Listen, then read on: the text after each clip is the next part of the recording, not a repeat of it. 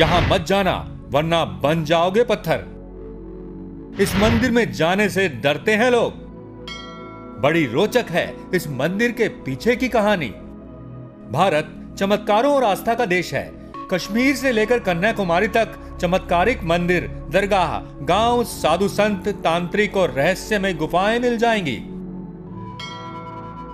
अब इसे आप चमत्कार कहें या अंधविश्वास, लेकिन एक शहर में एक ऐसा भी स्थान है जहाँ जाकर लोग हमेशा हमेशा के लिए पत्थर बन जाते हैं। कोई कहता है कि इस शहर पर किसी भूत का साया है तो कोई कहता है कि इस शहर पर एक साधु के श्राप का असर है। यहाँ के सभी लोग उसके श्राप के चलते पत्थर बन गए थे, और यही वजह है कि आज भी उस श्राप के डर के चलते लोग यहाँ नहीं जाते हैं। लोगों में अब वहम बैठ गया है। देश में कई ऐसे गाँव हैं जहाँ के लोग किसी साधु के श्राप के चलते पत्थर बन गए थे। मध्य प्रदेश में देवास के पास गंधर्वपुरी है तो राजस्थान में बाड़मेर के पास किराड़ू शहर। आखिर क्या सच है किराड़ू शहर का? क्यों आज भी लोग इस गाँव में जाने से डरते हैं? और क्यों शाम होते ही यह शहर भूतों का स्थान बन जाता है? कहते हैं कि राजस्थान के बाड़मेर के पास एक ऐसा गाँव है जहाँ के मंदिरों के खंडरों में रात में कदम रखते ही लोग हमेशा हमेशा के लिए पत्थर बन जाते हैं। यह कोई श्राप है, जादू है, चमत्कार है या भूतों की हरकत, कोई नहीं जानता। हालाँकि किसी ने यह जानने की हिम्मत भी नहीं की कि क्या सच में यहाँ रात रुकने पर वह पत्थर बन जाएगा। कौन ऐसा रिस्क ले सकता है? तभी तो आज तक इसका रहस्य बरकरार है। कैसे जान पाएगा कोई कि अगर ऐसा होता है तो उसके पीछे का कारण क्या है? भारत में शोध और रिसर्च को ना तो बढ़ावा दिया जाता है और ना ही सरकार इस पर खर्च करती है। तो आज भी इस देश का इतिहास इसी तरह खंडहरों में दफन है। बाड़मेर, राजस्थान का किराड़ू शहर ऐसे ही किसी रहस्य को अपने भीतर दफन किए हुए है। कहते हैं कि एक समय था जब यह स्थान भी आम जगहों की तरह चहल पहल से भरा था और लोग यहाँ खुशहाल जीवन जी रहे थे।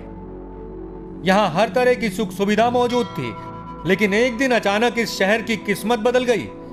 कहना चाहिए कि इस पर वज्रपात हुआ और सभी अपना जीवन खो बैठे। मान्यता है कि इस शहर पर एक साधु का श्राप लगा हुआ है। यह लगभग 900 साल पहले की बात है, जबकि यहाँ परमारों का शासन था।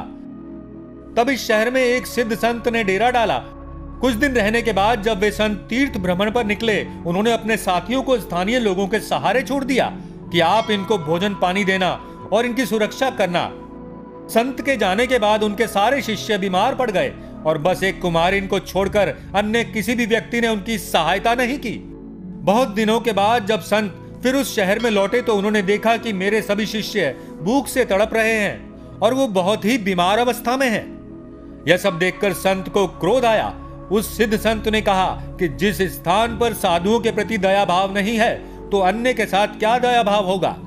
ऐसे स्थान पर मानव जाति को नहीं रहना चाहिए। उन्होंने क्रोध में अपने कमंडल से जल निकाला और हाथ में लेकर कहा कि जो जहाँ जैसा है, शाम होते ही पत्थर बन जाएगा। उन्होंने संपूर्ण नगरवासियों को पत्थर बन जाने का श्राप दे दिया फिर उन्होंने जिस कुमारिन ने उनके शिष्यों की सेवा की थी, उन्हें बुलाया और कहा कि तुम शाम होने से पहले शहर को छोड़ देना और जाते वक्त पीछे मुड़कर मत देखना।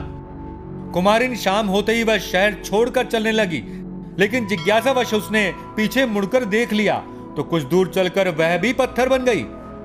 इस श्राप के चलते पूरा गाँव आज पत्थर का बना हुआ है। जो जैसा काम कर रहा था, वह तुरंत ही पत्थर बन गया।